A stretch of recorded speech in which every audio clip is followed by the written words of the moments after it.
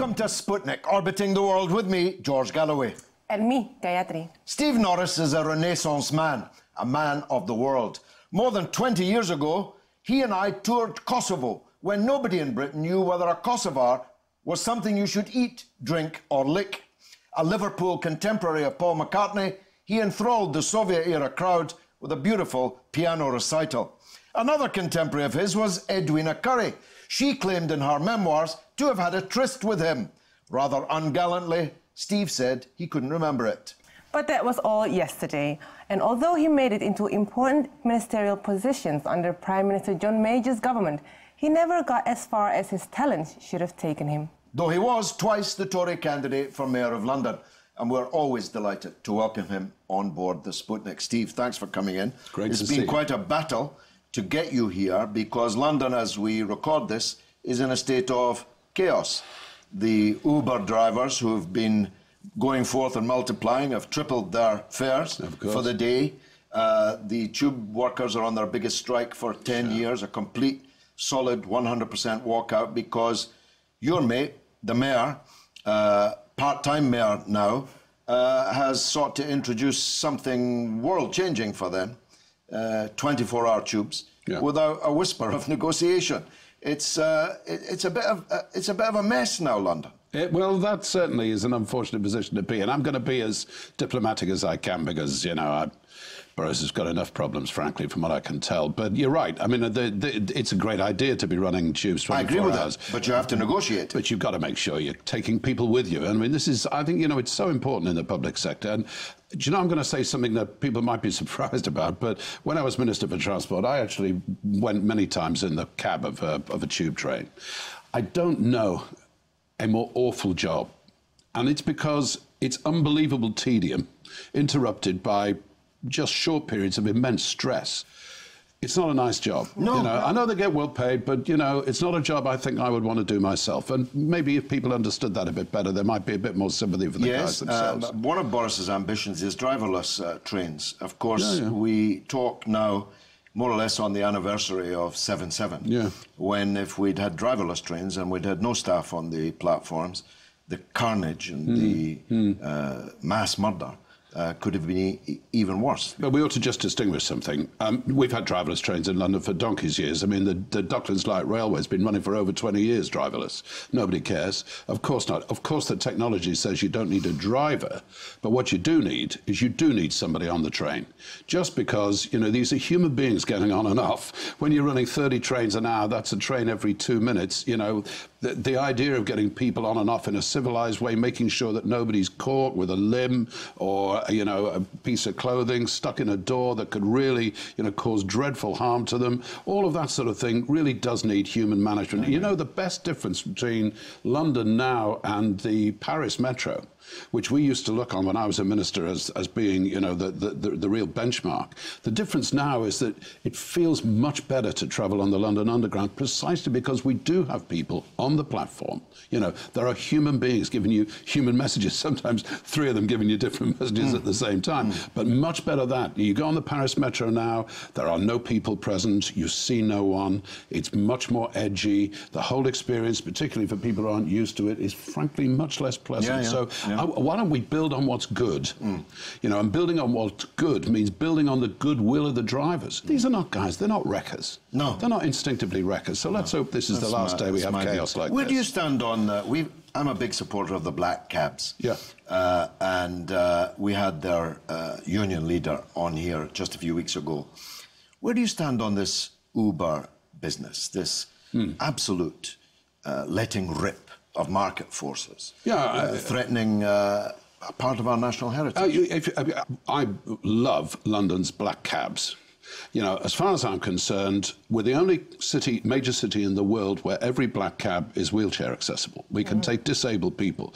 It's a system where the drivers speak the language of the country and know the city intimately. So if you don't know it, you can show them a piece of paper with an address on, they'll get you there straight away. The meter says you'll get charged a fare that's proper and sensible. Nobody's going to be ripping you off. But I think it's high time that TfL, Transport for London, said, look, do we want to keep the black cab? I think there are so many reasons why we do. And if we do, then what have we got to do to integrate technology with a service that's the best in the world. You know, there are all sorts of issues around that because the real issue in terms of Uber is not the meter, it's safety, it's personal safety. Uh, where is the where is the photograph that tells me that the person who arrives is actually the person that I thought was going to be arriving? How do I know that that person doesn't have a criminal record, for example, at the and moment? how do you know he's insured? And how do I know he has proper hire and reward insurance? How do I know that his vehicle has a proper MOT? How do I know that you know all of those things that I ought to expect and that I know I get with a licensed taxi? How do I know they're all there? Now, if we can get that right then I'll be quite straightforward with you, George. I, I believe that in the end, you know, no particular industry is sacred. Nobody has a right to a living. I mean, it's, uh, you know, blacksmiths weren't terribly keen on the pneumatic tyre. But TFL needs to do more. That's the point. Yes. They need to take this issue yeah. seriously, and I don't think they are at the moment. Yeah, totally failing London is what the acronym uh, uh, mm. that springs to mind. We meet just after the budget. Mm. George Osborne, whether you like his measures or not, was a kind of political and public relations uh, mm. flurry. Mm. Uh, he certainly established himself mm. as the heir apparent to David Cameron, who, after all, has told us he's going to go on for a, another four years, no hmm. more. Hmm. Um, but Boris is in there when he should be in the mayor's office, but he's in there, he's in the cabinet, he's in the parliament, and running openly to be the next leader. What's your evaluation of the, the claims or is it is it going to be Boy George or is it going to be Boris? Well, of course, I think actually that Boris is probably banking on the idea that by now we'd be in the middle of an election for a new leader of our party, mm. and patently we're not. I had uh, David Cameron lost. The Conservatives would have said, "Here is a man who couldn't." Actually, convincingly beat the least popular prime minister in living memory, and then couldn't beat the least apparently competent leader of the opposition in living memory. That would have been pretty damning indictment. And we Conservatives, as you know, are pretty ruthless when it comes to getting leaders who fail. Would have been a night of the long knives. Uh, no, you don't even have to be long. Mm. But as it happens, that was not what transpired. David Cameron supervised a clear victory with a majority. And therefore, the man who would have fallen with him now rises with him. And by common consent, what you saw yesterday was a bravura performance. That's the expression I think we see most frequently in the press. And what I thought was interesting about it is that he presented it as a great tax cutting budget. The uh, Office of Budget Responsibility, the independent Office of Budget Responsibility, has very clearly indicated it was actually a tax increasing budget. But it was a bravura performance. And if anything is said of Osborne, it is said that he is a man with enormous sort of tactical and strategic ambition. Uh, I don't know whether he'll be the next leader. I think you and I know politics well enough to know that you never predict five years in advance what's going to happen. But I think uh, Boris Johnson will now, if he's got any sense, concentrate as much as he can on the job that he's getting paid for, which is to be Mayor of London, and at least for the moment can park any other ambitions. But how does he afford being both the mayor and being an MP and in the cabinet? I mean, don't, don't the people of London, can, can they not demand for him to choose one or the other? Yeah, I think they can. I mean, Ken Livingstone, of course, was famously an MP when he got elected, and uh, he, he was already an MP though yeah, when already, he became. He was man. already an MP, yeah. and and um, so you know, Boris uh, says, "Well, I'm not doing anything different from Ken," mm. but I think there is uh, there's a slight difference. Mm. Uh, my own view is that his very clear priority should be London.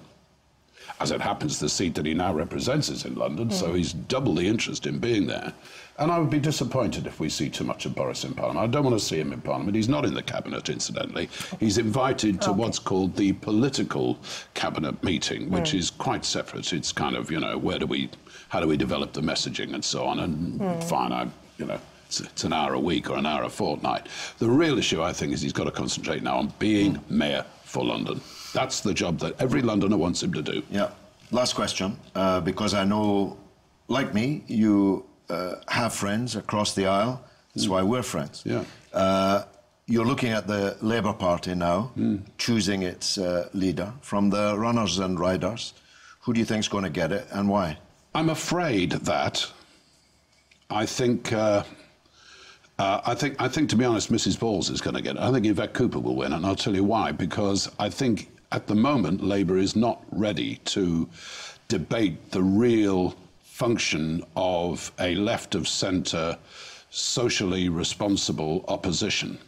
To a government which, of course, as George Osborne proved yesterday, is all very happy to steal their clothes. It amused me, just uh, if I may say so, that uh, the great uh, you know, sort of punchline of his whole budget was to actually increase the minimum wage. You know, you can call it whatever you like. Mm. This was something that conservatives viscerally opposed for years when it was suggested this was intolerable, you know, interference in the free market, and yet actually it's the linchpin uh, of his of his economic strategy. Mm. Um, I, I, think the problem that Labour has got was is that, with the exception of Jeremy Corbyn uh, on, on, the left, and to some degree Liz Kendall, who is saying, "Look at the man who won you three elections and wonder how he did it." The fact is, if you don't want to go back to Blair, and you maybe accept that Jeremy Corbyn's appeal would not necessarily play universally throughout the country, what are either Andy Burnham or Yvette Cooper offering that isn't really what I think Mrs. Uh, Kendall described as, you know, Miliband light. Yeah. Uh, and I'm afraid at the moment I can't answer that question. So I think they'll go for Yvette Cooper because I think she's less contentious. I think she's playing a cannier game in the election than Andy Burnham. But I'm afraid I don't think that's the long term future for Labour. I think a thoughtful, serious, left of centre, constructive opposition that takes the position that inequality in our society is still uh, a desperate problem, and nowhere, nowhere less so than in London.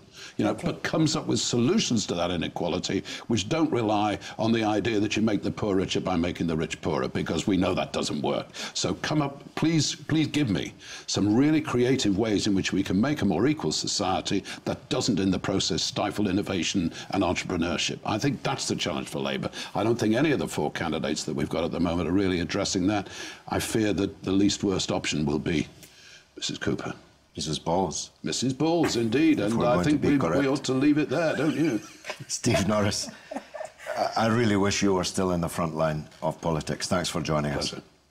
Coming up next, in Europe, the kaleidoscope has been shaken. The pieces are all in flux. Where will they land? We'll be talking to the man who knows best, Professor Steve Keen. Stay tuned.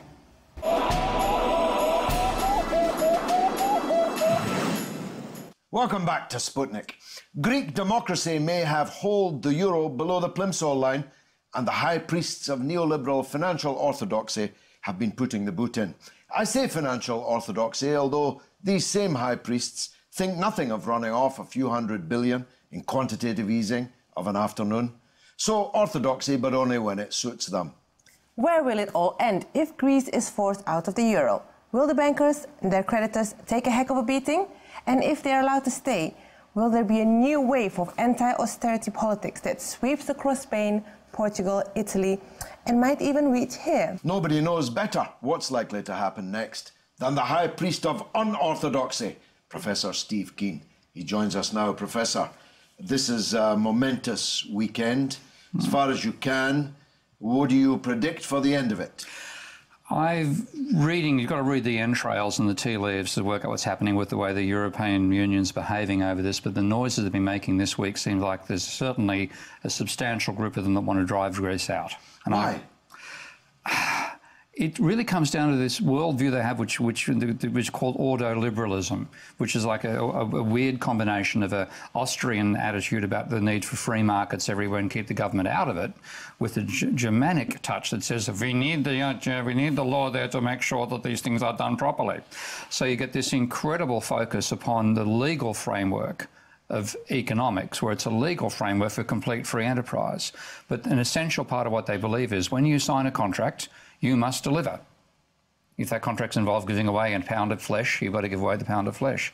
And the contract they think they signed was austerity in return for, of course, you know it's supposed to deliver, economic recovery. Mm. And my argument is, well, that ain't what you delivered, guys. You delivered economic depression. Yes. But um, they're just simply seeing it from their point of view. You signed on for this contract, and they were going to beat uh, Syriza down until they became basically the party they replaced. But isn't, think, isn't, isn't that a triumph of accountancy over economics? If only it was a triumph of accountancy, because one little point I try to make is this violates accountancy. Mm. See, if you think about it, if I, if I take 100 bucks out of your pocket, you go down 100, I go up 100. Now, I can't say to you, why don't you do the same thing, because I've just done it to you in reverse. We're on a seesaw. And it's that seesaw nature of financial transactions, which is why when Germany says to Greece, why can't you be like us? The answer is because you're like you. you know, if, you get, if there's a trade deficit between, if, if, Greece has a trade deficit with Germany, then Germany's got an identical trade surplus. Okay, and what's going on here is they're telling the Greeks, you've got to grow while the government's taking money out of your economy. Yeah. Okay, yeah. and then at the same time, the public sector, the private sector is taking money out of the economy by either going bankrupt or by paying back their debts or taking it out of the country as well. So you've got two sources that are taking money out of the economy. And the only way left to grow is by the, by the foreign sector, by people coming in and buying Greek goods or Greek tourism. And the difference between those two is gigantic. Mm. About a 1 or 2% of GDP now after the huge depression in wages in Greece. Uh, until the latest, you know, the, the impact of the capital controls hit in. That was bringing some money, but they were trying to take 3% of GDP out of it, out of the country via the, the, government running a trade, uh, running a, a, budget surplus, which means, of course, to run a budget surplus, you've got to take money out of the private sector. And the, the rate of decline of public, private debt was about 10% of GDP. So there's just, what do you mean you've got a shrinking supply of money unless they grow faster? And it simply can't happen. So if accountancy ruled, we wouldn't be having this conversation. It's, it's, it's legality where they've got a distorted vision of what is legal. And this is sign on a contract that means you've got to do what we told you to do. We haven't delivered, but that's your problem. But if, as Gayatri pointed out in the introduction, the if uh, if uh, they come out of the euro, if they don't pay the debt, mm. it's the banks of Germany and other countries like them that are going to take a very cold bath. In the case of Germany, I think more than 40 billion. Yeah, and there's a huge. I mean, uh, people some people who follow this know that about 90% or 90 up to 93% of the money that is so-called going to bail out Greece is actually so they can pay their debts back yeah. to both to their creditors, which are actually the troika plus German and French banks on yes. a large scale. Yeah. So they only see about like oh, they might be talking about giving them seven billion. Well, they don't even see 700 million of that as only money actually going into the economy itself. So if this gets shut down, if if, if, they, if they get kicked out, if they default, and they should, if they are kicked out, they should default on the works. Oh, definitely you know, 180%. Uh, it, it, they should follow Argentina's uh, yeah. move. Yeah. Uh, and uh, if, as you predict, and I think you're right, they are being pushed out of the euro, though the legality of that even is questionable, mm. they should definitely then create their own currency, mm. default on all the debts, mm. turn to Russia and other BRICS countries for hmm. such help as can be uh, afforded, and, uh, and hope that being out of the euro actually begins to generate some growth. There will be. The trouble is, and this is the reason they haven't done it so far, is they, they know they're too small an economy. They know they're too fragile, and they know that they have they don't get the tax off the rich. And you also have the, re, the reality that the, the Greek state became a patronage state for a long time. So apparently, under the previous conservative prime minister, whatever, uh, 300,000 new jobs are created in the public service which was all a case of basically feather bedding and you know mm. buying patronage by providing employment to particular political mm. groups. So that side of things needs drastic reform, and th that's what Syriza is aware of. They know they've got to get that stuff straightened out. They want to do it. Of course, they spent the last six months in a you know crisis du jour caused by the European Union, dribbling out the money each time, trying to push them further and further past the, mm. the red lines they drew in the sand. They've got right back to their very last red line. Surely the success of Iceland should be a model we should strive for. How realistic is it for a country like Greece, who is set in the Eurozone, to succeed in that model too? Um, Iceland has one enormous advantage over Greece, and that is got its energy exports. It's also a tiny country, 300,000 people. A boost to tourism, the energy exports, and they're reasonably okay. Greece has the problem that it's got a, a very you know, distorted industrial sector. It's, it doesn't have anything like the, the depth, for example, that Ireland has, where Ireland managed to benefit when they were put through the austerity ringer. By, by I might add, one quarter the degree of austerity that was imposed on Greece. Yeah. Uh, that, that was, what that meant was their costs dropped sufficiently for the multinationals that produced there to increase the flow through of funds through the Irish economy, and you know, the, the, gross you know, GDP went up quite significantly, courtesy of those effects which Greece can't take advantage of, mm. nor the ones in Iceland. So. If it wasn't for that, um, Syriza would have pulled out already. Mm. No two ways about it. If they weren't, if they had, you know, even like twice the scale economy they have, they'd be big enough to say, right, we'll take the or take the rocky, the rocky road. So they're afraid of the transition and they're afraid of just how viable are they going to be once they're back on a floating exchange rate again. But I don't think they're going to have a choice. I, No, I think they're really much way. pushing them out. I know you, you're an economist and a brilliant one rather than a politician, but how do you evaluate how the Syriza leaders have played their hand uh, in the crisis Well? Yanis, Yanis probably won't mind me saying this now. Uh, he wrote to me once that they're trying. They were basically we're, we're, we're being subjected to a putsch. Okay, and he said basically the attitude of the European Union was they didn't want Syriza to win, so let's get rid of them. There was there was a political campaign right from the outset to break their backs and to either force them to become like the party they replaced or to drive them out of office. And in that sense, the referendum uh, was quite a surprise move. They weren't expecting it, and Bit the of a res- master stroke, really. yeah, yeah. And now, of course, they they're treating as though it didn't happen. Oh, yes. And it's, it's it's the anti-democratic. We respect the result, but pretend it didn't happen. That's Exactly. the attitude. of Yeah, yeah. You did well. Pity, a pity, it's a pity you voted the wrong way. But apart from that, congratulations on winning. Now let's go back and do exactly what we were doing last week. Yeah. So the Syriza government looks fairly solid now. I mean, last week at this time, Hmm. frankly, it wouldn't have been a surprise if they'd been out by Sunday night. Yeah, But now they look uh, strong. they look strong. I just And and- despite the, um, the, op- the conservative media as well, they had really harsh They media have very against them. shockingly biased uh, Greek private sector media, Yeah. and even the state sector didn't uh, didn't actually do their duty. And there's a lot of uh, backlash now in Greece about that. Uh, but they do look uh, fairly solid. Can they survive even being pushed out of the euro? They can survive being pushed out of the euro. I mean, th- th- there's a sense of one thing you can pick up from the Greek uh, reaction to that election was that there's a sense of pride coming back because being put through an experience like they've been through. I mean, people talk about they they they're responsible for the situation. They should they should pay the price. I've had this from some of my mm-hmm. conservative friends mm-hmm. recently. Mm-hmm. They don't realise just how long the punishment has been, just how severe, and just how demoralising, giving people no sense of a future. To why the suicide rates, you know, increased by a factor of five or six in Greece since this whole thing began. And also, today's Greeks are not the people who did yeah, this. they're not the ones who are responsible. It, It- it- was the old right wing Yeah. oligarchy in Greece Yeah. that did this. Yeah. When most of today's Greeks weren't even born. not quite that bad, but nonetheless, the people in I'm power. always exaggerating.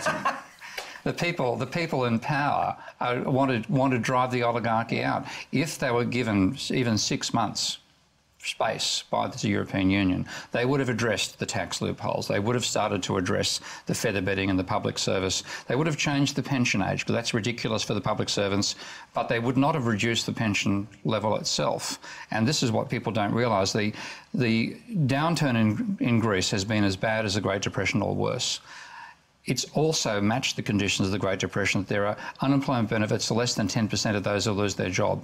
So 90% of those, 25% of the population that's out of a job don't have any income. What are they relying upon? The pensions being paid by their to their parents.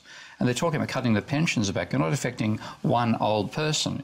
You're affecting their and their descendants because half the young people are out of a job. One quarter of those between 15 and 64 are also out of a job. It's, it's forcing poverty on the country. And you're never going to get any capacity to reform the tax system or anything else while you're simply trying to avoid running out of money virtually on a daily basis. well, we'll see how it works out this weekend. You might have to come back next week and uh, uh, evaluate where we then are. Professor Steve Keen, thanks as always. Welcome. And now it's your turn to tell us what you think through the portals of social media. What's rattling, Gayatri? Well, I've asked, uh, what about the Tory leadership, Boy George or Boris, with this picture of them both in China last year? And Chris Day answers, I see Gideon's glass is half full. I've seen more sincerity in the London Zoo reptile house. Gideon is, of course, George Osborne's proper name. You can see why he changed it. Okay, and about um, Greece, Grexit, Brexit, what will take it to break it? David Sugar answers, EU as an institution only serves oligarchs, not the peoples of Europe. I don't agree with that. Uh, there's a lot wrong with the EU, but uh, none of it would be made better if the EU were to disappear. The euro, though, is a different question. And that's all that we've got for this week. Which, alas, means that's the end of the show. But you can stay in touch with us on Twitter at RT underscore Sputnik and on Facebook, Sputnik on Russia Today. It's goodbye from me, Gayatri. And from me, George Galloway, it's been marvellous.